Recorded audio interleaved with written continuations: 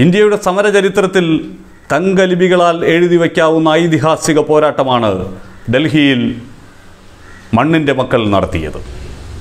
ലക്ഷക്കണക്കിന് ട്രാക്ടറുകൾ ഡൽഹിയുടെ തെരുവീഥികളിലൂടെ. നരേന്ദ്രമോദി സർക്കാരിനെതിരെ മുദ്രാവാക്യം വിളിച്ച് കാർഷിക നിയമങ്ങൾ പിൻവലിക്കണം എന്ന ആവശ്യവുമായി കടന്നു പോകുമ്പോൾ അത് സമാനതകളില്ലാത്ത ഒരു പോരാട്ടത്തിന്റെ കൂടി അടയാളപ്പെടുത്തലാണ്. ഇന്ത്യയുടെ റിപ്പബ്ലിക് ദിനത്തിൽ പോലീസിന്റെ തിട്ടൂരങ്ങളെയെല്ലാം മറികടന്നുകൊണ്ട് കർഷകൻ നടത്തിയ ആ ഐതിഹാസിക പോരാട്ടം അത് ലോക സമര ചരിത്രത്തിൽ തന്നെ അടയാളപ്പെടുത്താൻ പോകുന്നതാണ് അയ്യായിരം ട്രാക്ടറുകളെ ഡൽഹിയിൽ പ്രവേശിക്കാവൂ എന്ന് ഡൽഹി പോലീസ് പറഞ്ഞിരുന്നു. റിപ്പബ്ലിക് പരേഡ് കഴിഞ്ഞതിന് ശേഷമേ പ്രവേശിക്കാവൂ എന്ന് പറഞ്ഞിരുന്നു.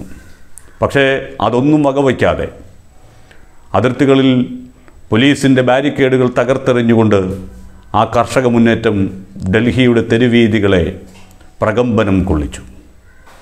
ഇതിന്റെ തുടർച്ചയായി ഇനി ഫെബ്രുവരി മാസത്തിൽ ബജറ്റ് അവതരിപ്പിക്കുന്ന ദിനത്തിൽ ഫെബ്രുവരി ഒന്നിന് പാർലമെന്റിലേക്ക് മാർച്ച് നടത്തും എന്നുള്ള പ്രഖ്യാപനം കർഷക സംഘടനകൾ നടത്തിക്കഴിഞ്ഞു നിരന്തരം ഈ ഭരണകൂടത്തെ ഭയപ്പെടുത്തിക്കൊണ്ട് ഈ ഭരണകൂടത്തിന് കർഷകന്റെ കരുത്തു കാട്ടിക്കൊടുത്തുകൊണ്ട് ഒടുവിൽ അവരെ കീഴടക്കുക എന്നുള്ള ആ തീരുമാനത്തിലേക്ക് തന്നെയാണ് കർഷക സംഘടനകൾ എത്തിയിരിക്കുന്നത്.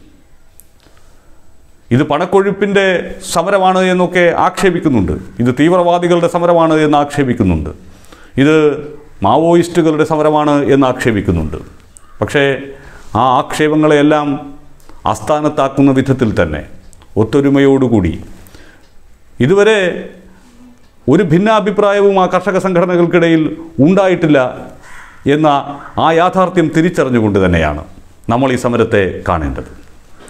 ഇപ്പോൾ ഈ ട്രാക്ടർ സമരം നടത്തിയതുകൊണ്ടോ അല്ലെങ്കിൽ പാർലമെന്റിലേക്ക് മാർച്ച് നടത്തിയതുകൊണ്ടോ നരേന്ദ്രമോദിക്ക് ഏതെങ്കിലും തരത്തിൽ ലജ്ജ തോന്നുമെന്നോ ഈ കർഷക നിയമങ്ങൾ പിൻവലിക്കാൻ തയ്യാറാകുമോ തയ്യാറാകുമെന്നൊന്നും നമ്മൾ ഇപ്പോൾ അങ്ങനെ ചിന്തിക്കേണ്ടതില്ല. കാരണം അത്രയ്ക്ക് കോർപ്പറേറ്റുകൾക്ക് വേണ്ടി കീഴടങ്ങി കൊടുത്തിട്ടുള്ളവരാണവർ. ഇവിടുത്തെ സാധാരണക്കാരനെ തൃണവൽഗണിക്കുന്നവരാണവർ.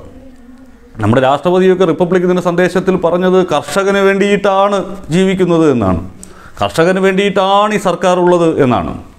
പക്ഷേ അതേ റിപ്പബ്ലിക് ദിനത്തിൽ തങ്ങളെ തെരുവുകളിലേക്ക് വലിച്ചെറിയാൻ പോകുന്ന കോർപ്പറേറ്റുകൾക്ക് തങ്ങളെ വിൽക്കാൻ പോകുന്ന മാരണ നിയമങ്ങൾക്കെതിരെ കർഷകൻ ട്രാക്ടർ മാർച്ച് നടത്തേണ്ടി വന്നു എന്നുള്ള ഗതികേട് ലോകത്ത് ഒരു രാജ്യത്തും സംഭവിച്ചിട്ടില്ല. ആ രാജ്യത്തിന്റെ പ്രഥമ പൗരൻ പറയുന്നു ഞങ്ങൾ കർഷകർക്കൊപ്പമെന്ന്. കർഷകർ പറയുന്നു നിങ്ങൾ ഞങ്ങൾക്കൊപ്പം അല്ല സർക്കാരെ.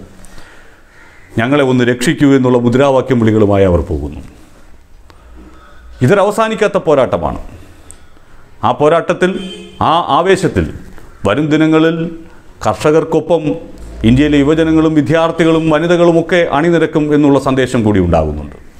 ഡൽഹിയിൽ ഈ റിപ്പബ്ലിക് ദിന ട്രാക്ടർ പരേഡ് നടക്കുന്ന അവസരത്തിൽ തന്നെ രാജ്യത്തിന്റെ വിവിധ ഭാഗങ്ങളിൽ ദേശീയ പതാകകൾ ഉയർത്തി കർഷകരുടെ മഹാസംഗമങ്ങൾ നടന്നു. അതിൽ മുംബൈയിൽ നടന്ന മഹാസംഗമം എടുത്തു പറയേണ്ടതാണ്.